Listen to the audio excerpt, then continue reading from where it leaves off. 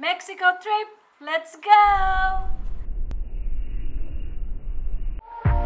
Welcome to the life of Team Sunglao, Filipino Canadians residing in Alberta. Here is Tony and Josie, our mom and dad. I am Abby, the eldest amongst their four children. Here is Anna Jane, second eldest. Here is Angeli, third and youngest daughter. And JR, the youngest child amongst four. Here's Rianne, my partner. Here's Kieran, Anna Jane's husband. And here's Lawrence, Angeli's partner. Watch our family and our journey.